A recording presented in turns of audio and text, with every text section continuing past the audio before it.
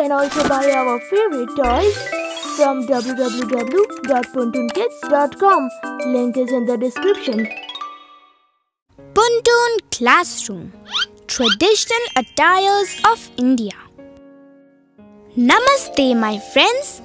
Today we are going on an exciting journey across India to explore the diverse and captivating attires of each state. Our country is a treasure of cultural, and clothing plays a significant role in showcasing the unique traditions and customs of each region.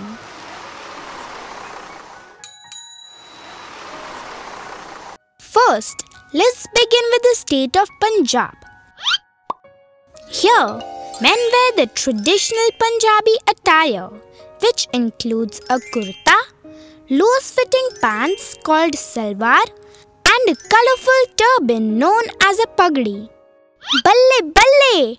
The Punjabi dress is full of energy and joy, just like the spirited Bhangra dance. Now, let's travel to Rajasthan. The traditional attire here is the dazzling lehenga choli for women and a vibrant bandhani turban for men.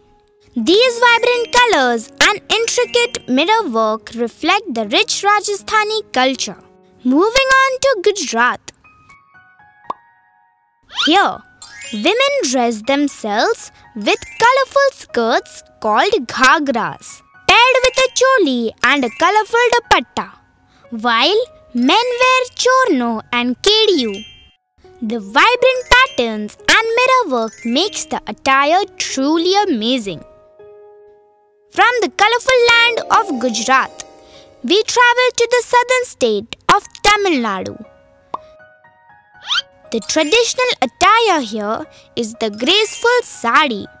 The style of tying these sari are called pavda, while men wear lungi.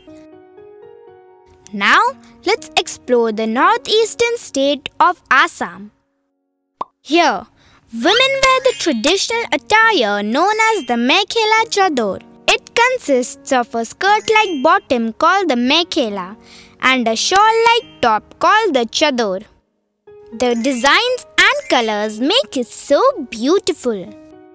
Next, we travel to Maharashtra, the land of Bollywood and Lavani dance.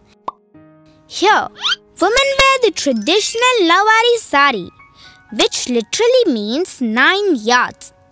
It is worn in a unique style that allows for easy movement, and men here wear dhoti and kurta. India's diverse attire is a representation of the rich culture and unique traditions that exist across our beautiful nation. Each state's attire carries its own story. So, my friends, let's celebrate the Indian attires and continue to cherish and embrace the beautiful diversity that makes our country so special.